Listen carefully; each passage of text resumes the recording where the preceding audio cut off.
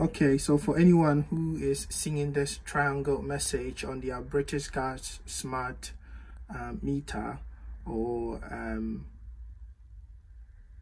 or meter display, um, this is how to get rid of it. Um, so to do that, you have to go into your menu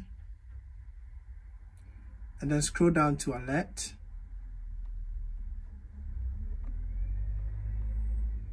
Select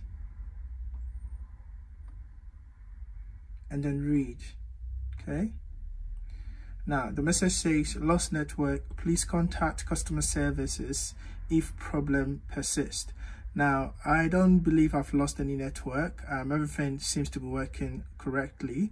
Um, you can see i've got four bar signs there. So i think everything is fine. Might have happened um, during um, the course of the week or you know the network probably went down temporarily and it probably came back and this message is still showing.